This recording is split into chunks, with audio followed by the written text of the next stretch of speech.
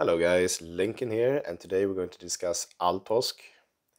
I must say out of all the new heroes we've gotten, a lot of epic and legendary heroes um, that I've not really cared about because they are strong but they are usually legendary or epic and it's so hard getting them to above level 100 right. So I haven't bothered. I've kept focusing on the heroes, uh, the old school heroes. But when I saw this guy, I felt like, okay, I have saved since the game started basically all my premium orbs, my summons, and I have 253 of them now.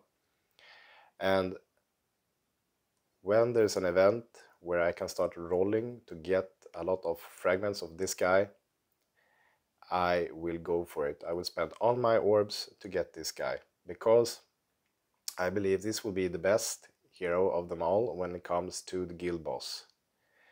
Uh, the two new heroes we've gotten, uh, they are not like the rest. All the rest of the heroes that we've gotten uh, lately, they are good at doing damage, but it's the same with all of the heroes, nothing else. But both of these heroes, they're really specific in uh, uh, different areas of expertise. And this one is insane when it comes to uh, fighting the guild boss, so that's why I want him. And this one is basically a big nerf of all the vampire heroes in the game. I will discuss more about that further on. But basically, um, everyone is using vampires, right? Uh, and you will get 45% less attack speed with this guy in your team until you kill someone. And if you have a very hard-hitting team, um, or so rather a lot of tanks, so you, you don't lose anyone in your team, um, you can stay alive for a long time. Uh, and then it would be really hard for the opposing team if they have a lot of vampires and basically all the good heroes until now been like vampires. We have Lucretia, we have Orlin. Everyone been going for these guys. We have uh, we have um, Grimr, and we have uh, Daeva, and uh, as well Voss. No, uh, Voss and Magla. Yeah. So all of these heroes will uh, suddenly lose a lot of attack speed against this guy. So he will basically nerf all the vampires. So he will be a fantastic opponent. Um, having him in your team against uh, uh, vampire teams. So in PvP, this guy will shine a lot. And this guy will shine a lot when it comes to the guild boss. And if we look a little on his abilities, which all, all of them are insane.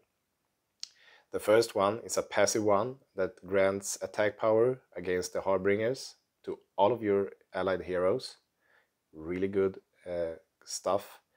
And then he has the bleed effect. And the thing with bleed, it um, can uh, uh, ignore armor. And all of the bosses have really high armor. So when you have bleed effect and poison, it's like the best you can have against bosses. So uh, will be really strong. And then he has some other skill when he has bleeds on. Uh, you will as well get some um, bonuses to your entire team, up to 4% attack speed and 4% armor penetration for each bleed. And that can stack up to 10 times, so it would give you 40% more attack speed and 40% armor penetration. Insane. So really looking forward to getting this guy and I will spend all my uh, shards uh, to uh, get this guy.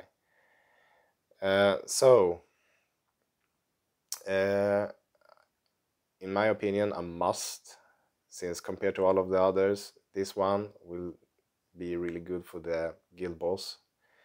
And this one as well will be uh, insane, fighting in PvP against most of the players that have been focusing hard on all those good vampires. So that about that.